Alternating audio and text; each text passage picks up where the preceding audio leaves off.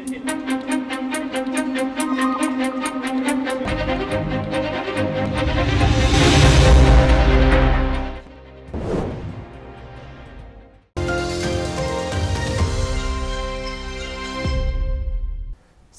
Real intervyu efirdədir. Azərbaycanda koronavirusla bağlı təhlükəli vəziyyət davam eləyir və biz gündəlik 4 rəqəmli yoluxmanı müşahidə edirik. Artıq bir neçə vaxtdır ki, yəni bir aydan da çoxdur ki, 4 rəqəmli yoluxma mütəmadi olaraq yenilənir və biz bu statistikada bir artım görürük. Şübhəsiz ki, Bütün bunlardan, yəni koronavirusun özündən və onun fəsadlarından qorumaq bizim özümüzdən asılıdır, amma bilməli olduğumuz vacib məqamlar çoxdur. Məhz bu vacib məqamlardan danışacağıq. Studiyamızın qonağı isə Azərbaycan Elmi Tədqiqat Tibbi Profilaktika İnstitutunun direktoru, tibb elmləri doktoru Adil Allahverdiyevdir. Adil müəllim, hər vaxtınız xeyir. Adil müəllim, ə, demək qeyd etdiyimiz kimi 4 rəqəmli yoluxma artıq yəni bir aydan çoxdur ki, müşahidə edirik bəlkə də daha çox. Və e, o statistikanı görəndə istər-istəməz insan özü özlüyündə sakit dayana bilmir. Yəni doğrudan da yoluxma artır və bunun müqabilində o görülən tədbirlər də təbii ki, artmalıdır. Nə baş verir? 4 rəqəmli yoluxma nə üçün e, hazırda bax bu həddədir? Yəni həmin o rəqəm düşmür aşağıya. İnsan elə bil ki, yoluxma daha çox böyük bir e, necə deyim, ərazilərə əhatə etməyə başlayır. Bəli, doğrudan da elədir. Dünyanın başqa ölkələrində olduğu kimi Azərbaycanda da COVID-19 son vaxtlarda və son deyəlim ki, günlərdə daha sürətlə yayılmaqdadır. Bunun obyektiv və subyektiv səbəbləri də vardır.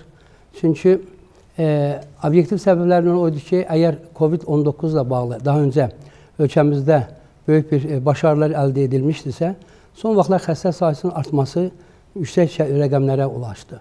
Bunun başlı səbəblərindən birisi əgər ölkədəki yaranmış bu hərbi vəziyyətlə bağlı olaraq, yəni insanların bir araya gəlməsi, sevinç olaraq gəlməsi və, və sair səbəblərdən bir araya gələrək xəstəliyin yayılmasında rol oynamasıdırsa, digər e, səbəblər isə əlbəttə insanlarda e, sanki e, bir e, özlərinə bir, e, yəni insanlarda bir e, bu COVID-la bağlı bir e, səylənkarlıq meydana gəldi. Bilirsiniz, bu xəstəlikdə məsuliyyətsizlik, məsuliyyətsizlik meydana gəldi ki, sanki bunlara bir şey olmayacaqdır.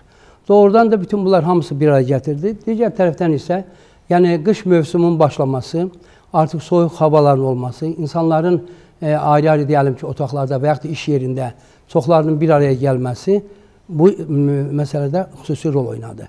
Çünki burada virusun yayılmasında mən hər zaman biz sosial məsafə, sosial məsafə deyirik. Artıq burada sosial məsafə məsələsi gerçəkdən ciddi bir şəkildə ə, pozulmuş oldu. Bütün bunlar hamısı təbii ki, xəstənin yayılmasında çox mühüm rol oynadı.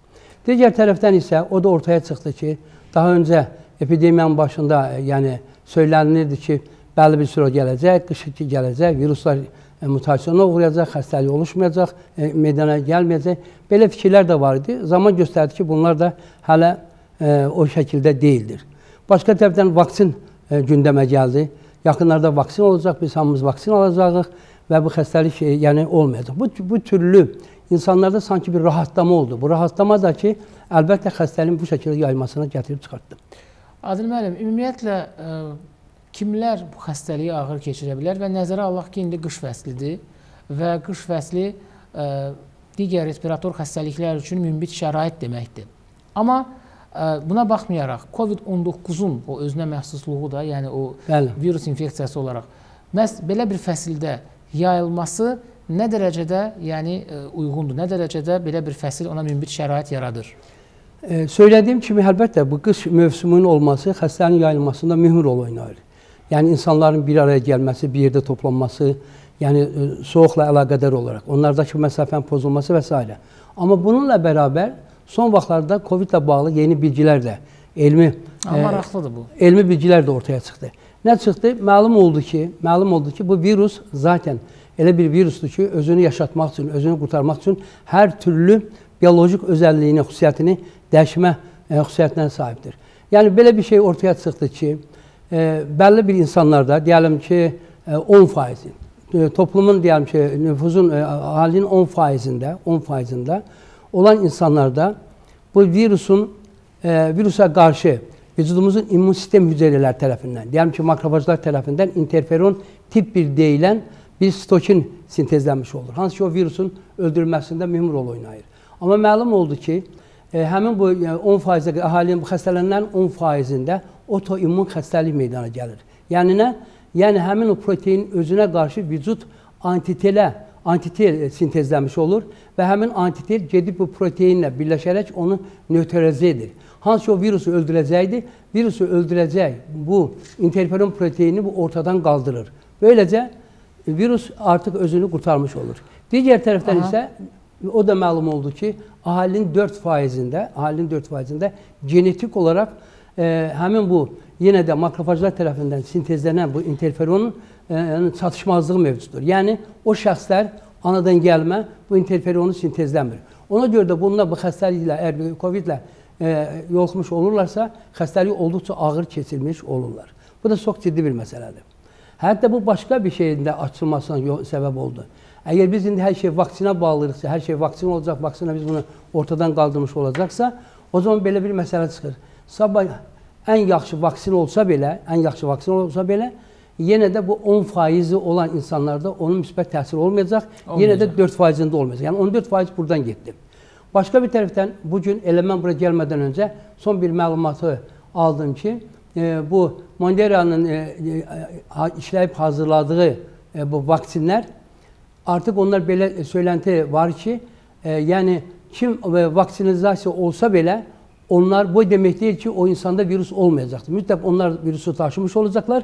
Özlərinin sağlığı üçün təhlükə olmasa da, onların ölümünə yol açmasa da, onlar başqaları üçün bu infeksiyanın yayılmasında rol oynayacaqdır.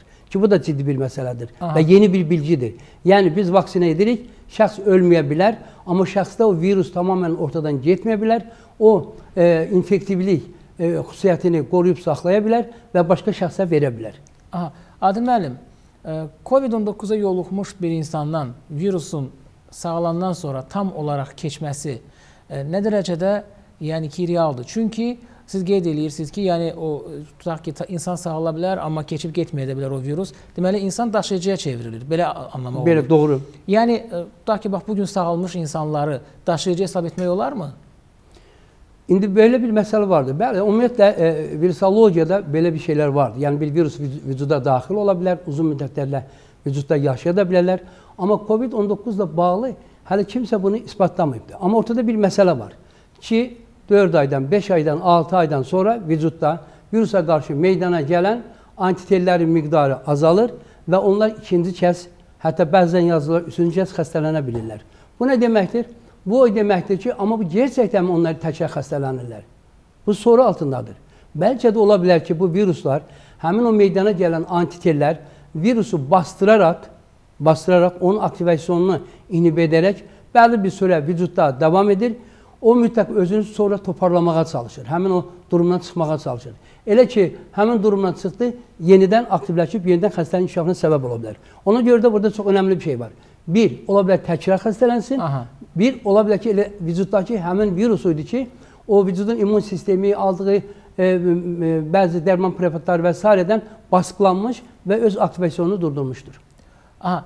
E, bəs Adil müəllim, e, gəlin belə deyək, Azərbaycanda bu gün e, vəziyyəti müşahidə eləyirsiniz.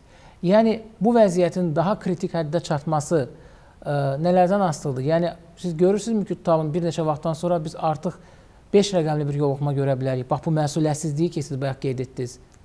Bəli, gerçəkdən e, vəziyyət onu göstərir. Vəziyyət onu göstərir ki, vəziyyət get-gedə daha da ağırlaşır. Və e, dediyim bu səbəblər də göstərir ki, sabah vaksin də olsa əlimizdə belə yenə də bu xəstəliyin tamamilə ortadan getməsi demək deyildir.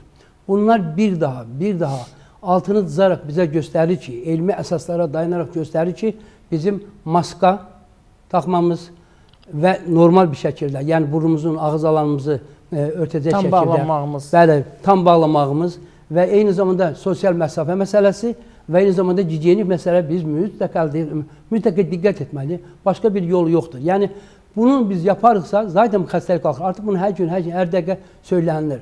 Amma virus haqqında çıxan son bilgilər, son məlumatlar, hətta başqa insanlar vaksinizasiya olsa belə, o şəxsin özü ölməsə belə, o daşıyıcı olacaq. O virusu başqalarına verə bilər. Həmin di- direkt olaraq bu Mandela şirkətinin verdiyi bu məlumatlar, özlərinin verdiyi məlumatlar çox ciddi bir məlumatlardır. Bunlar sıradan bir məlumat deyillər. İkinci tərəfdən də dedi ki, 14% insanın özündə ona qarşı antikor əmələ gəlir, birisi ortadan qaldır və ya da 4% genetik olaraq ə, xəstələnir. Bu antitel nə qədər yaşaya bilər insanda? E, tutaq ki, virusa yoluxandan sonra insanda yaranmış antitel onun müddəti nə qədərdir? İndi bu Yəni ortalama bir müddət deyək. ortalama müddət deyəlim ki, 4 ay, 5 aydan sonra artıq bu antitelin miqdarı düşməyə başlayır. 4-5 aydan sonra, Sonra düşməyə, düşməyə başlayır. başlayır. Hə, demək bu burada təbii ki, başqa şeylər də rol oynaya bilər.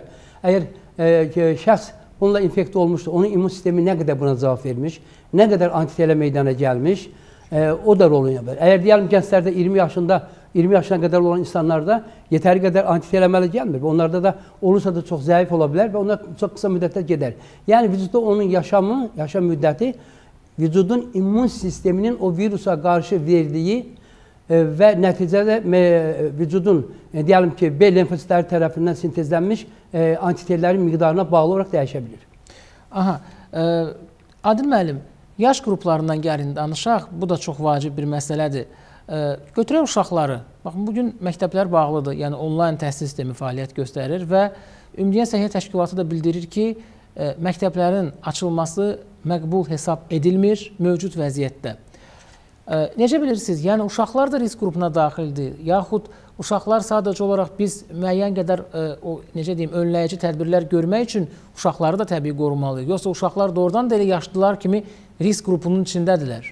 Yox, indiyə qədər uşaqlar risk qrupuna ə, ə, daxil etmirdilər və eyni zamanda deyirdilər ki, uşaqlarda ya görülmür və ya da çox az görülür. Amma zaman göstərir ki, dediyim o genetik faktorlar Genetik var ki, faktorlar. genetik faktorlar var. Hansı ki, çox böyük ayrı-ayrı mərkəzlərdə aparılan, uzun, çoxsaylı mərkəzlərdə aparılan elmi tədqiqatların nəticəsidir ki, genetik olaraq əgər onda ə, demək bir mutasyon varsa, onun vücudundakı makrofajlar immun sistem hüceyrələri tərəfindən ə, bu ə, deyəlim ki, interferon ə, sintezlənmirsə, Aha. sintezlənmirsə, onlar avtomatik olaraq xəstələnə bilirlər. Yəni bunun başqa bir yol yoxdur. Başqa xəstəlik olmasa da belə yenə xəstələnirlər.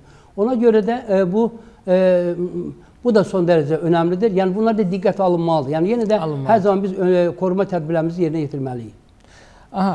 ə, Adil müəllim, bax vaksinasiyadan dediniz, ə, vaksinlərin vurulması və qeyd edirsiniz ki, ə, ümumiyyətlə vaksinlər ə, COVID-19-a qarşı mübarizədə tam belə deyək, əsas mübarizə vasitəsi deyil. Və bunu Ümumdünya Səhiyyə Təşkilatı da bildirir ki, vaksinlərin gəlməsi heç də bu virusun tam olaraq çıxıb getməsinə bir zəmin yaratmayacaq. Bəs vaksinlər bizə nəyi qazandıracaq? Bax siz bayaq qeyd etdiniz, amma istəyərik onu bir qədər açasınız. Vaksinlər bizə nəyi qazandıracaq? Bax gələn il tutalım deyilib ki, vaksinlər artıq hazır olacaq. Müəyyən ölkələr artıq başlayıb bu prosesi görməyə təqdim eləyiblər e, müvafiq Ümumdünya Səhiyyə Təşkilatının öz e, sənədlərini. Amma bu vaksinlər gəldikdən sonra e, onların nüfuz dairəsi, onların bizə nə dərəcədə faydası olacaq? Vaksinlər yox, yəni yox, vaksinlər şərt. Yəni ümumiyyətlə infeksion xəstəliklərə qarşı mübarizədə vaksinlər, yəni, vaksinizasiya çox ə, əsas silahlardan birisidir. Aha. Amma ortada görünən bir şey vardır. Əgər vücudumuz normal bir şəkildə infeksiya olursa COVID-lə və 10%-də ona qarşı otoimmun xəstəlik əmələ gəlib o e, virusu öldürəcək faktoru ortadan qaldırırsa, 4%-də də dedik ki, mutasyon varsa, o vaksin də versən eyni şey olacaq. Yəni vaksinlərdə də bu 14% artıq təsirsiz 14 qalır. faiz elə bilin ki, Bunu qoyaq kənara. neytral zonadır. Evet, bunu qoyduq kənara. Digər tərəfdən isə nə qədər də eləyirlər eləsinlər, hala yaşlı qrupda nə qədər nə nəticə verəcək bəlli deyildir. Ondan qaldı bu virus nanovirusdur. Yəni bunun ölçüsü 100 nanometr və yaxud da ondan kiçik bir boyutlardadır. Bunların nano boyutda olmaları onların hər an hər şey dəyişmələrinə e, yol açan bir şeydir. Sabah biz bunu vaksinizasiya edəndən sonra o virus özünü necə göstərəcək, nədir göstərəcək bəlli deyil. Böyük soru altındadır. Yəni mutasiya uğraya bilər yenidən. Mutasiya da e, e, mutasiya uğraya bilər və yaxud da ki, yaranmış e, antiteldən özünü qorumaq üçün başqa bir sistemini devrəyə soxa bilər. Biz nə yapırıq? Bizim ən modern silahlarımız var. Gedirik düşməni öldürməyə. Deyirik orada düşmən var, biz düşməni öldürəcəyik. Amma bu düşmən nə cür düşməndir biz bilmirik. Bizə qarşı üzbəüz gələrkən nə göstərəcək, hansı sistemin devrəyə soxacaq xəbərimiz yoxdur. Bu da eyni şeydir. Bu da bir biolojidir, bioloji bir varlıqdır. Necə olacaq, nə tər olacaq bəlli deyil. Ona görə də kimsə bunu qaranti edə bilməz. Digər tərəfdən, Əgər vaksinlərlə göstərsəydilər biz vaksinizasiya elədik və sonra o insanlara könüllü biz koronavirusla infeksiya etdik. Belə biz e, nəticə çıxdı. Və bunu bir jurnalda, bir yerdə, bir Science indeksi kapsamına girən jurnallarda yayınlanmış, göstərmiş olsaydılar, o zaman biz daha güvənli danışardıq. Hər kəs deyir, yaptım, amma kimsənin də e, e, əldə etdiyi sonuçlar ortada deyildir. Onun üçün burada sorular var, sorular mevcuddur. Aha. E, və bəlkə elə ona görədir ki, e, hazırda bu xəstəliklə bağlı tam mükəmməl kliniki protokollar ümumiyyətlə yoxdur. Yəni kliniki protokollar belə deyə tərtib edilsə də yekun dünya standartlarına uyğun olan kliniki protokollar hələ ki ortaya çıxmayıb. Virusun yeni olmasına irəli gəlir, yoxsa ona qarşı mübarizə üsullarının tapılmamasından? Bu bu bu, bu yöndəki çalışmaların tamamlanmamasından irəli gəlir. Əgər sabah bu vaksinizasiya bir bölgədə bir epidemik bölgədə, daha çox COVID görünən bir bölgədə yapılarsa və isbatlasalar ki, baxın burada 1000, 2 milyona biz vaksinizasiyadır, 2 milyonu eləmədik, burada bu qədər oldu, bax o olacaq bir gerçək. Əsl gerçək o zaman çıxacaq ortalığa. Yoxsa biz vaksinizasiya elədik, 94%-də antitela meydana gəldi, o bəlli deyildir. Bəlli deyil. O məsələnin bir tərəfidir. Amma qarşıdan bizim o virusumuz, e, yəni bizim o düşmənimiz buna necə cavab verəcək, o sonra ortaya çıxacaq. Və çox qısa Adil müəllim, verilişimizin vaxtına çox az qaldı və son olaraq baxın bu bütün bu müzakirə etdiklərimizin fonunda bir daha sizin tövsiyələrinizi eşitmək istərdik bir həkim olaraq. Yəni vəziyyət doğrudan da ağırdır. Yoluxma 4 rəqəmlidir və sizin əlbəttə ki, tövsiyələriniz e, Vəziyyət belədir ki, indi gerçəkdən Azərbaycanda artıq bizim e, təbib sistemimiz, Səhiyyə Nazirliyi sistemimiz çox aktiv şəkildə çalışırlar və İndiki durum əvvəlkinə görə çox-çox yaxşıdır. Artıq çox şeylər bilinmiş, çox şeylər ortada, diaqnostikamız təcrübə var. Çox-çox təcrübə var. Aha. Qabağına görə bu vahim deyildi. İndi əsas məsələ, indi əsas məsələ bizim artıq insanlarımızın bunu başa düşərək e, tövsiyələri yerinə yetirmələridir. Və son çıxan məlumatlar da bir daha onu ortaya qoyur ki, vaksin olsa belə məsələ tam həll olmaya bilər. Olmayacaq. Ona görə də ən sadə e, olmaya bilər. Olmayacaq, olmaya bilir yəni demək Hı -hı. istəyirəm ki, yəni şeylər var, şübhələr vardır. Ona görə də hazırda nağdını qoyub nisiyə axtarmayaq. Sosial məsafə, tam maska və gigiyenik qaydalar. Yəni bütün hətta qeyd olunmuşdu ki, e, maska taxmaq o da o vaxt effektiv olur ki, bütün qaydalara əməl olunsun. Təşəkkür edirik Bəli, olun, çox studiyamıza gəldiyinizə görə. Qeyd edək ki, verilişimizin qonağı tibb elmləri doktoru, Azərbaycan Elmi Tədqiqat Tibbi Profilaktika İnstitutunun direktoru Adil Allahverdiyev idi. Salamat qalın, biz birlikdə güclüyük.